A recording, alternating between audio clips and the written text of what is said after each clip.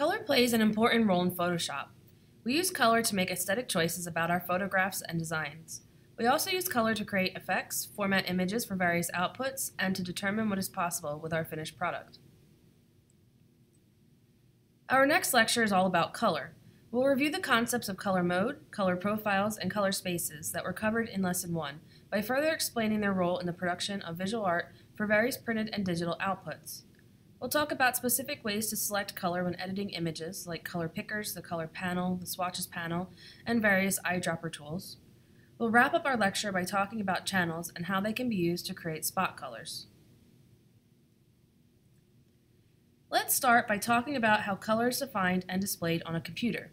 Color is defined in a variety of ways in Photoshop and other graphic art software programs.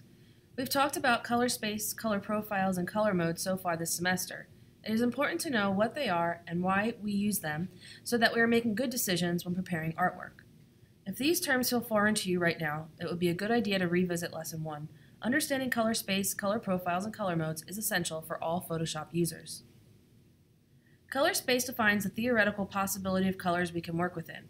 We don't have to use all of them, but choosing a color space defines what is possible.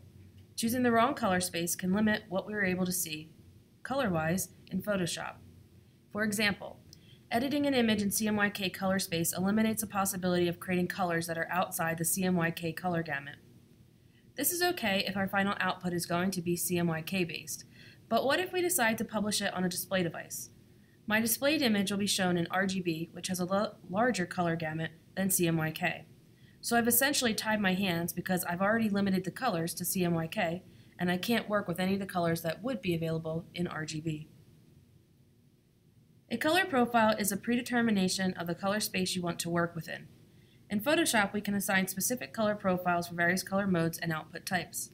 For example, we can tell Photoshop we prefer to work in Adobe RGB instead of sRGB when working with RGB color mode. Both are considered RGB color mode, but the Adobe RGB color space is larger than the sRGB color space. Photoshop will automatically expand or contract the color space available to us when editing based on the color gamut of our chosen RGB profile. A color mode is a document-specific determination of color space.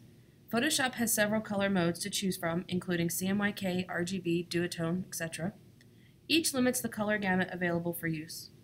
Color profiles can be used to refine color mode choices, like in our sRGB versus Adobe RGB example.